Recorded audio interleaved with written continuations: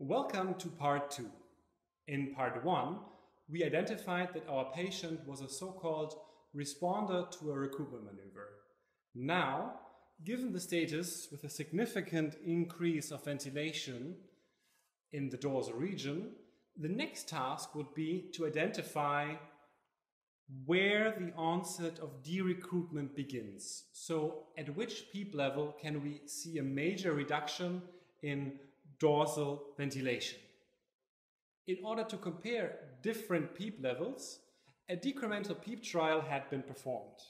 Now, to assess the onset of derecruitment, we have to set a new reference point. This has to be set where we least expect possible derecruitment. In our example, this is at the highest PEEP level.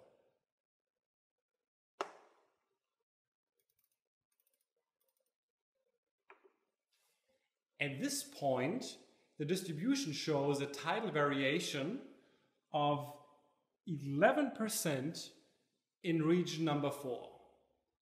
Then, using the second cursor as a comparison point, we compare how much the ventilation changes when the PEEP is decreased in steps of 2 centimeters of water.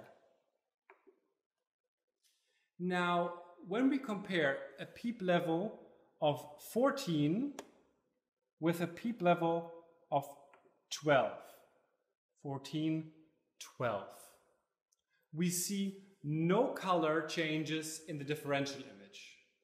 Usually a blue color would mean there is a significant increase of ventilation and orange color would mean there is a significant decrease of ventilation. So when decreasing our PEEP from 14 to 12 centimeters of water, there is no sign of derecruitment. However, if we further decrease the PEEP setting to 10,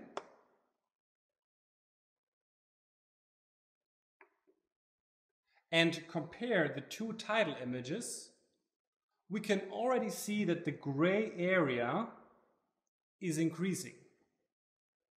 So this loss of ventilation is even more clearly represented in the differential image here.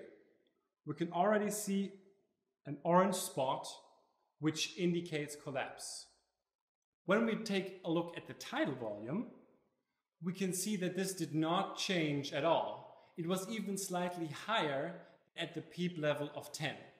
So basically what is happening here is that there is a redistribution from the dorsal parts towards the central parts of the lung.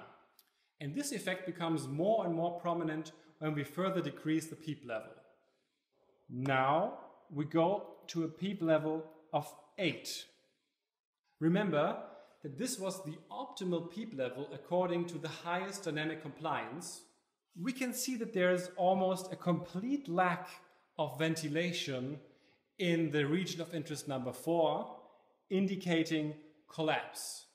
Plus, the distribution now changes from 11% to 1%, which is yet another indicator for collapse.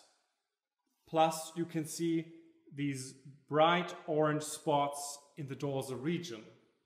And of course, as expected, if we further decrease the PEEP level to 6,